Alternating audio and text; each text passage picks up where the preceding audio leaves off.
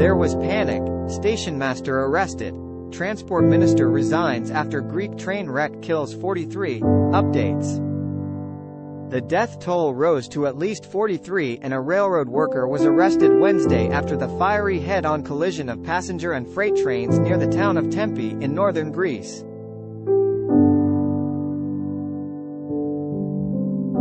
More than 80 people were injured, and the Greek government declared three days of national mourning after the country's deadliest rail crash.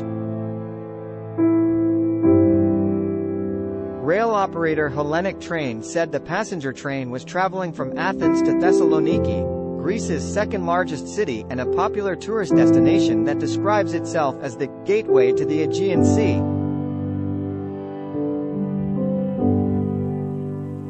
The train carried 350 people, including many university students returning home from Carnival, a three-day national party that precedes the Christian season of Lent. Multiple cars derailed and at least three burst into flames after the two trains ran into each other at high speed just before midnight Tuesday, authorities said.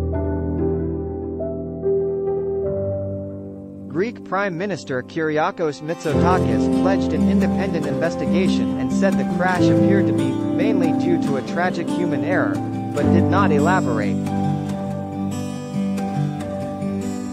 Rescue crews spent hours combing through the wreckage, listening for the calls of survivors. Cranes were brought in to peel away layers of twisted, burned steel. Eight rail employees were killed, including the two drivers of the freight train and the two drivers of the passenger train, Greek Railroad Workers Union President Yannis Nitsas said.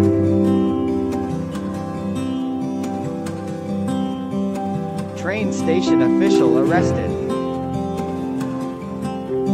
The station master in the city of Larissa, near where two trains collided Tuesday night, has been accused of manslaughter by negligence and grievous bodily harm by negligence, police said.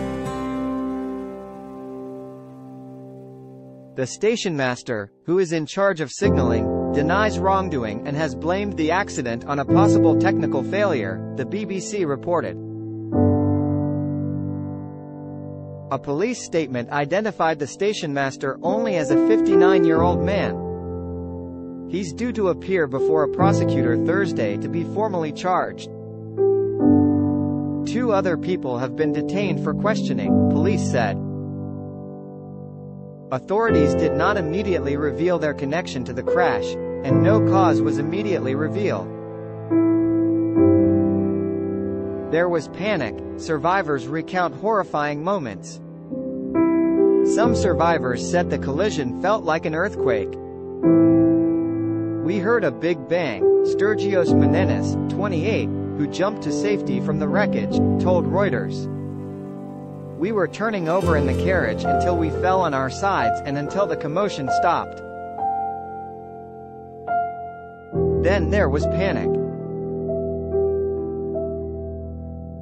Cables, fire. The fire was immediate. As we were turning over, we were being burned.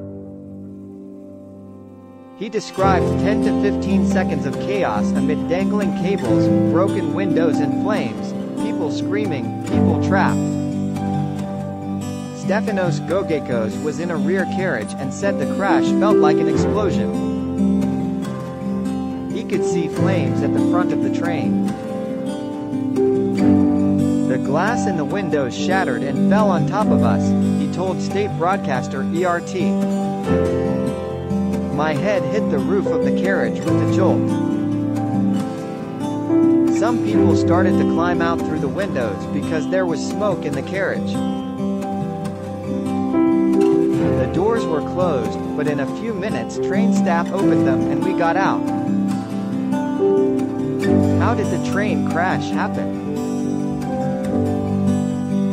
The trains crashed just before the Vale of Tempe, a gorge that separates the regions of Thessaly and Macedonia, 235 miles north of Athens. Kostas Agorastos, the regional governor in Thessaly, told Greece's Skai Television that two trains collided head-on at high speed. Carriage 1 and 2 no longer exist, and the third has derailed, he said. Survivors said the impact threw several passengers through the windows of train cars. They said others fought to free themselves after the passenger train buckled and slammed into a field near the gorge.